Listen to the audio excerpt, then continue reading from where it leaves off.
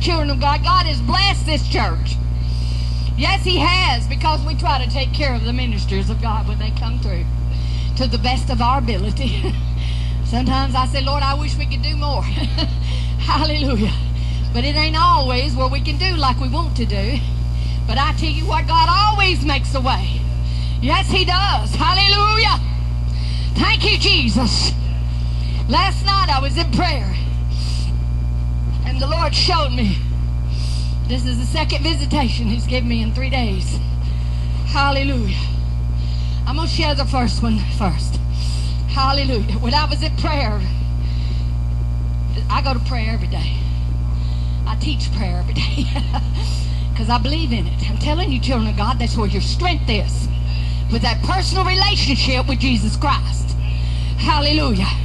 And I tell you what, I was there praying and I was just meditating upon the Lord. And, and I saw water just everywhere, everywhere you could look.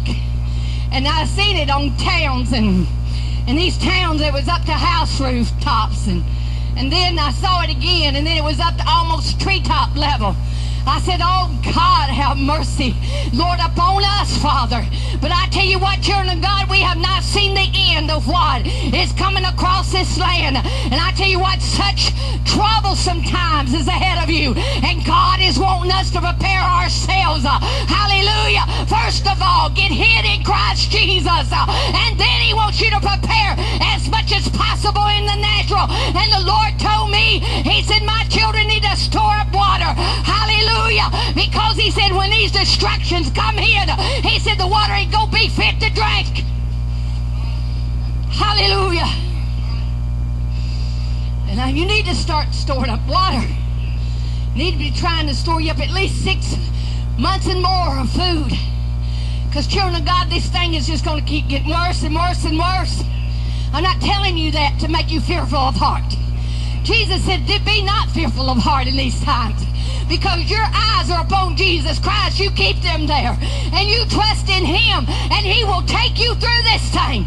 And I tell you what, if we go by the way of the grave, hallelujah, it just carries us that much quicker to heaven, hallelujah, to be with our Lord. I don't know any better place than I'd rather be with my Jesus.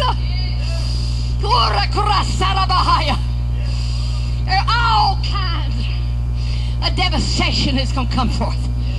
Whirlwinds, earthquakes, hurricanes, all weather patterns. You know, back in December 2009, the prophecy that come forth here for 2010 and 2011, and you have seen that come to pass. You're going to see it keep coming to pass. But the Lord showed me such great destruction, not just on this nation, but many nations. And I saw the Statue of Liberty. There was much trouble, much devastation here in this country. And I saw st- the Statue of Liberty. She had weep. She was weeping. She had tears coming down her eyes. And I saw her. She was holding the statue, and she fell to her knees like that. And she started weeping before the Lord. Hallelujah! And I tell you what, I pray that that is the outcome that will come for our nation. Oh, hallelujah. But the Lord showed me another outcome. If the children of God don't humble themselves, oh God.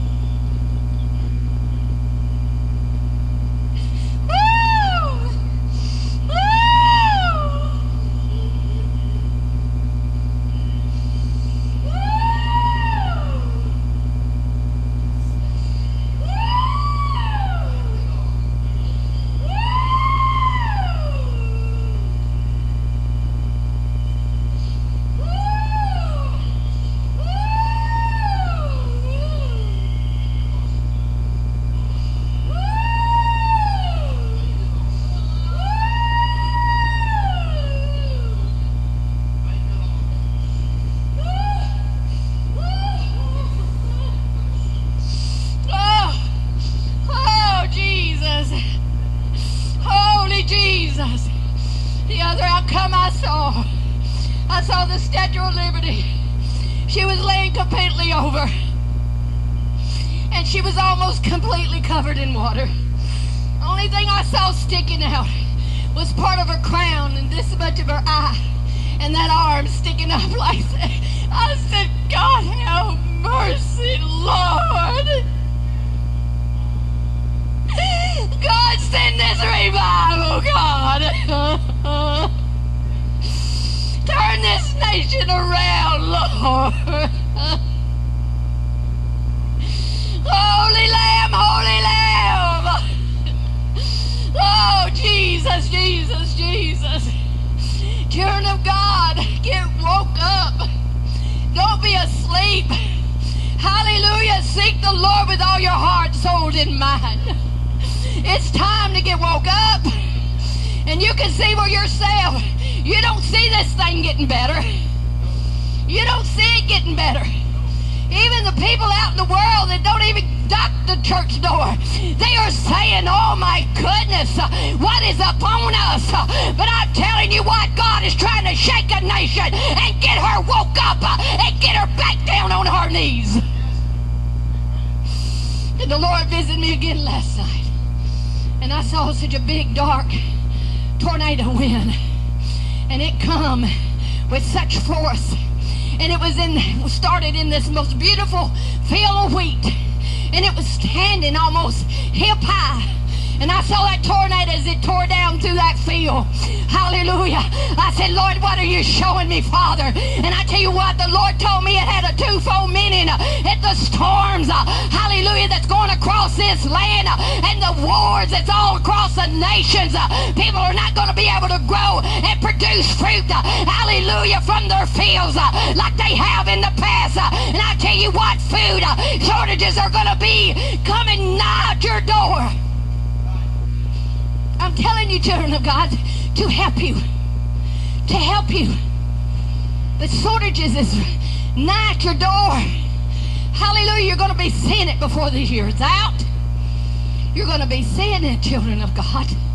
Hallelujah. I'm telling you to prepare. Get ready. In the spirit first, and then in the natural. And if you're prepared for what's coming, it won't be as hard on you. Hallelujah. I'm not saying that God won't take us through this thing because He will. Hallelujah. But the other meaning was a, such a great persecution coming upon the church. There is famine in the land that's headed our way. But I tell you what, there's a great persecution like we had never seen.